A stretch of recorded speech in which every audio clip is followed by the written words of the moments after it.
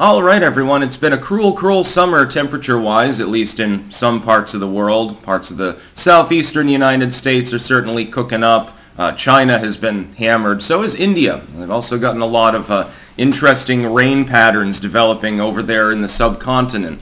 As a result, and, and there have been a couple of heat waves here, as a result, people are panicking, and the liberals in the United States, of course, wasting no time deciding to uh, uh, engage in some political fear-mongering to, you know, push their energy agenda, which doesn't really make sense. We can parse that apart some, and to push their political agenda.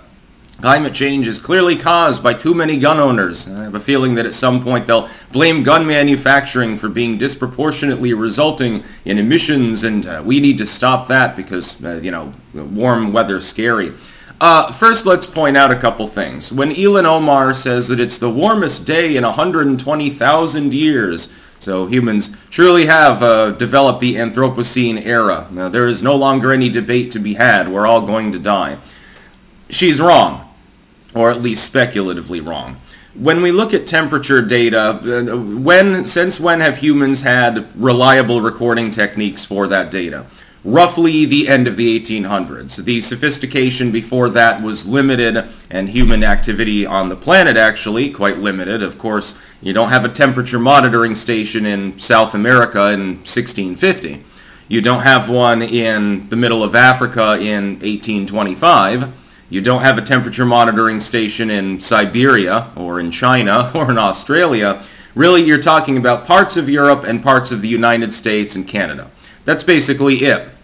Sure, there are a few other countries that dabbled in scientific exploration of that type, but it really isn't until at least the Industrial Revolution that anything really picks up. The problem being, of course, uh, therefore, if your data cuts off at that point, uh, when humans were beginning to industrialize, uh, no shit, you're going to see a CO2 rise.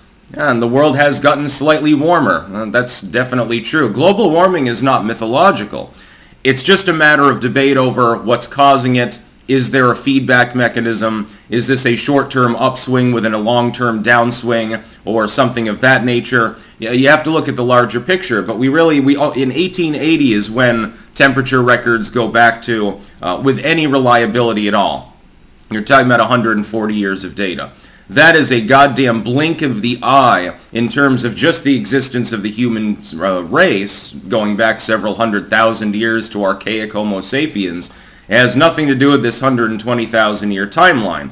When science goes back further than that, you can get you can get uh, information from tree rings that pushes you back a few centuries further. Generally, uh, some very very old trees are a few thousand years old, but it's still not 120,000 years, is it?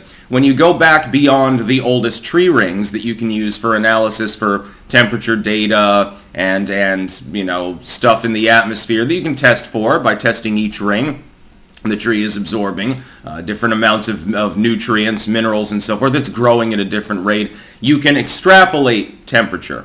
You can't necessarily know the exact temperature, and when you're talking about a long-term deviation of about 2 degrees, I hazard a guess that scientific sophistication is not quite enough to compensate for basically just a standard deviation within the data that you're looking at when you're looking at fucking tree rings from 400 years ago. Um, but, we'll give them credit. We'll, we'll give them a thousand years of rock solid data. In that time period, you do not have enough actual data to establish that the world is on a runaway train towards Armageddon. And that's the inference. Beyond that, you're looking at ice cores and a handful of stratifying minerals out there that slowly settle out over time and, and you know you can drill into them and get some data from that as well. That's basically all you've got. Beyond that, you're looking at you know fossils basically. You're you're going to get calcined uh, you know uh, animal remains and uh, you know bits of uh, of moss that were stuck in a piece of coal 50,000 years ago or something like that. That's basically all you've got to go on. So first, the claim that it's been the hottest day in 120,000 years is speculative. It's potentially spurious. You don't actually know that. You're inferring it based on inference upon inference within science. Now, it's still an educated guess, the problem is that in 50 years you might develop some new technology or some new methodology that completely overturns that belief. You could find out that actually it's relatively cool now compared to that same data cluster that you've got. Secondly, When people in the political elite, most of which do not have degrees in science, yet will talk down to the rubes like me who also don't, despite the fact that I did actually take quite a few scientific courses, I've certainly been, as an amateur, interested in especially biological science, especially plants, for a very long time. Uh, so I do know something about this. You know, there are there are ecology courses at UVM. Uh, despite that, when politicians engage in saying things like this. What they're really doing is fear-mongering, and we know this. Uh, that we can judge much more accurately than long-term temperature records. How do we know this? Because they don't walk the walk. They only talk the talk. You're supposed to live in the pod, make do with less. By the way, you should be less materialistic. I will always point that out. I am an environmentalist.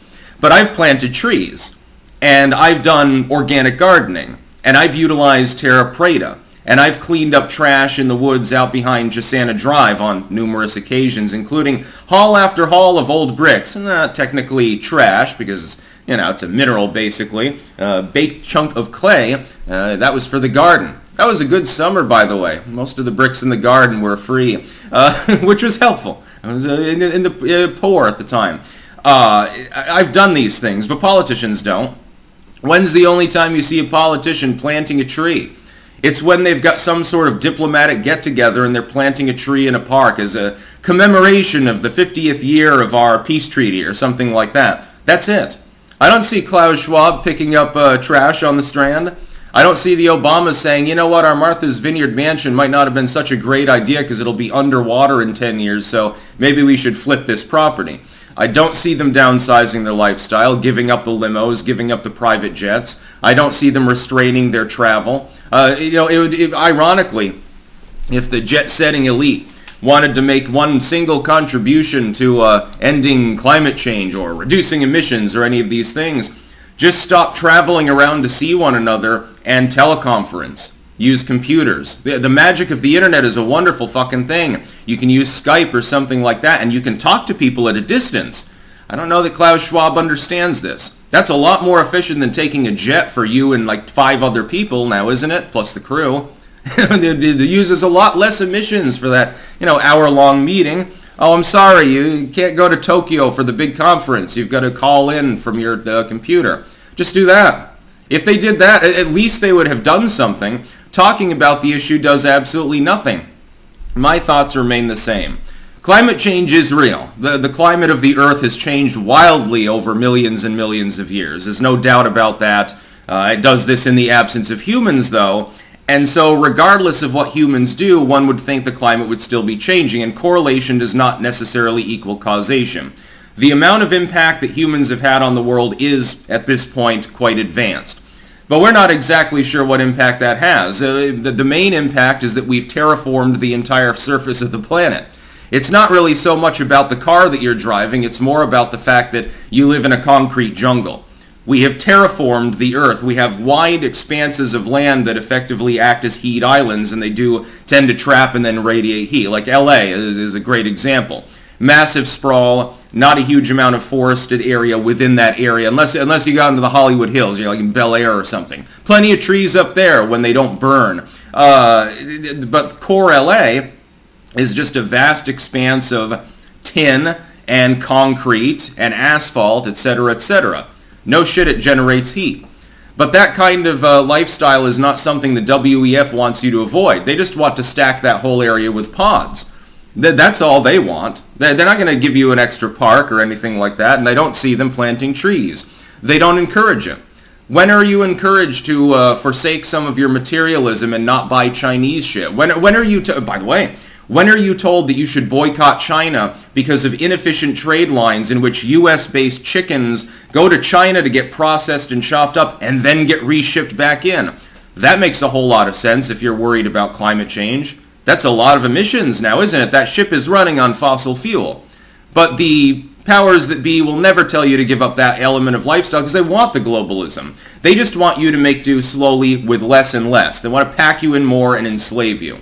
It's NIMBYism. Ilhan Omar does not pick up trash alongside the freeway. Ilhan Omar is not going to give up her McMansion. Ilhan Omar is not going to give up her vehicle. She's not going to stop taking taxpayer-funded plane trips to every part of the United States or, or, you know, to go see some foreign dignitary in China. She's not going to do that. And so when she rants about the fact that we need to do more about climate change, okay, what, what are, are they suggesting? What does it boil down to? More taxes, more government power, how convenient for them. Fuck you, we're going to eat the filet mignon, and you will eat the bug burgers. That's basically it. So if they're not walking the walk, I don't take anything that they say seriously. These people are not scientists anyway. Uh, and this appears to be based, by the way, according to the community notes, this claim uh, on, on potentially spurious data anyway. That's about all. Peace out.